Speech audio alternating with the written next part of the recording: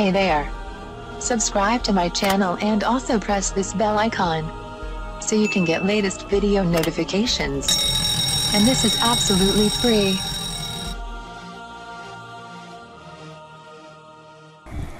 आज मैं आपको बताऊँगी खजूर से दांतों चोट जख्म और जली हुई जिल्द का इलाज करने का तरीका खजूर की बूंदी यानी खजूर के ऊपर का वो कैप जो टहनी और खजूर के दरमियान होती है, जिसको अक्सर खजूर से हटाकर फेंक दिया जाता है और फिर खजूर खाई जाती है। इसको इकट्ठा करके साय में खुश करके पीस कर बिल्कुल बारीक पाउडर बना लें। इसमें अनोखी शफा पाई जाती है।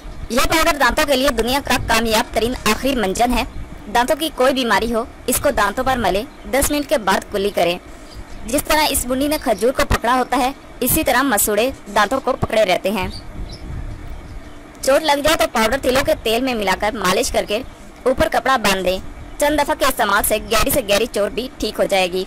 जो जख्म बिल्कुल गल गया हो डॉक्टर कहें ये जगह काटनी पड़ेगी। इसके लिए इस पाउडर को आटे से भी ज़्यादा बिल्कुल बारीक करके जैतून के तेल में मिलाकर इसकी पट्टी बांधे।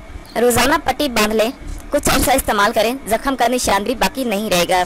जिसम का कोई हिस्सा जल जाए तो फ़ौरन जली हुई जगह पर यह पाउडर गरी के तेल में मिलाकर लगाएँ।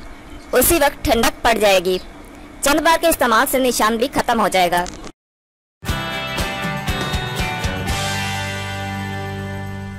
Thank you for watching my video